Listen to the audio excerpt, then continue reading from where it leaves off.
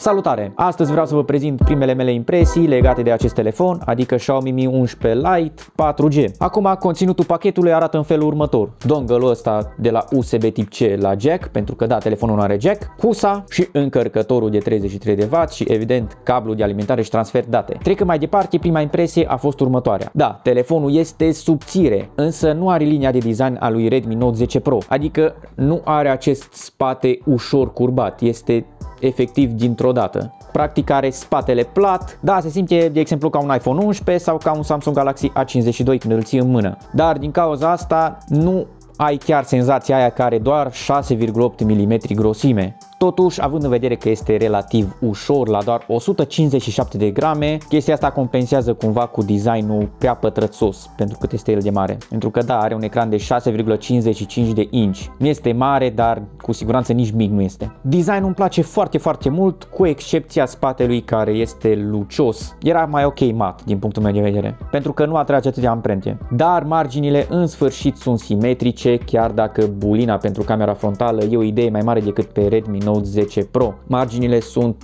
chiar, chiar simetrice, ceea ce îmi place foarte, foarte mult. Un aspect software ce cumva îmi place și nu îmi place în același timp este că pe Redmi Note 10 Pro deja am primit update-ul la MIUI 12.5, însă pe acest Mi 11 Lite 4G am MIUI 12.0.4. Chiar și pe Redmi Note 8 Pro cu care filmez acum am un MIUI 12.0.6 sau ceva de genul. Deci cumva nu-mi place chestia asta, dar cumva MIUI 12.5 nu-mi place pentru că au schimbat toată interfața de la setările rapide și de la notificări. Dar probabil chestia asta o lăsăm pentru alt clip și da, din cauza asta cumva mă bucur că nu a primit încă update-ul la MIUI 12.5 pentru că, mă repet, nu-mi place cum arată. Camerele, la prima impresie, par chiar bune. Ba chiar HDR-ul de pe camera ultra wide a fost efectiv wow în segmentul ăsta de preț, mă refer. Adică nu că a fost neapărat wow, dar eu nu mă așteptam la asemenea rezultate. Acum da, nu sunt detaliile extraordinare pe camera ultra-wide, dar pozele arată foarte bine. Băi, nu știu, toată lumea zicea că pozele sunt mediocre, că sunt ok, că nu știu ce, dar mie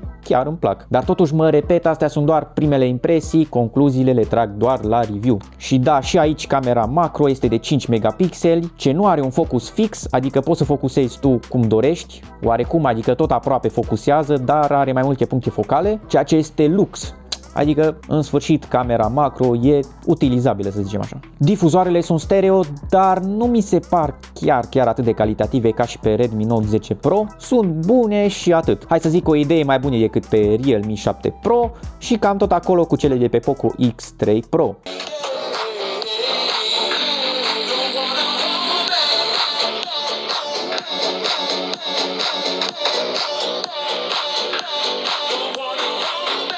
Ecranul este unul superb și da, se vede bine și în lumină puternică, dar luminozitatea maximă se specifică că este doar la 800 de niți. Este ok, dar nu este chiar de top, să zicem așa, însă este un ecran pe 10 biți având un miliard de culori, cel puțin așa se specifică. Deci eu cred că luminozitatea aia este doar cumva artificial scăzută să nu fie chiar un ecran de top, să zic așa, pe un telefon de 1300 de lei. Asta e doar părerea mea. Practic avem un ecran aproape de de top, 90 de Hz, dar cu 240 de Hz rata de citire a atingerilor. Hapticele sunt decente, dar nu la fel de bune cum sunt pe Poco X3 NFC, dar totuși mai bune decât pe Realme 7 Pro. Mă repet, motorașul de vibrație este decent, cred că este același de pe Redmi Note 10 Pro. Construcția este țeapănă.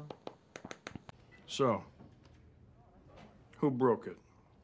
Căci din câte știu eu avem sticlă și pe față și pe spate, nu știu exact pentru că nu se specifică. Cert este că nu avem flex deloc pe spate, dar de exemplu nici în cazul lui Realme 7 Pro care avea plastic pe spate, nu avea nici măcar urmă de flex. Senzorul de amprente este rapid și precis, sincer nici nu mă așteptam la altceva de la acest senzor fizic. Procesorul este același ca și pe Redmi Note 10 Pro și același ca și pe Poco X3 NFC. Eu încă sincer nu am intrat pe PUBG, doar l-am instalat, deci rămâne să o clarificăm la review. Cine știe, poate e mai bine optimizat ăsta decât restul. Habar n-am. Evident o să vină un battle între Mi 11 Lite 4G și Redmi Note 10 Pro, cu siguranță. Așa că activează clopoțelul de notificări să nu ratezi acel clip. Aici recomandările mele de telefoane între 1000 și 2000 de lei și aici recomandările mele de telefoane la sub 1000 de lei din acest moment. Dar și aici pe fața mea ai un clip despre Redmi Note 10 Pro. Și zic să ne vedem acolo pe unul dintre clipuri.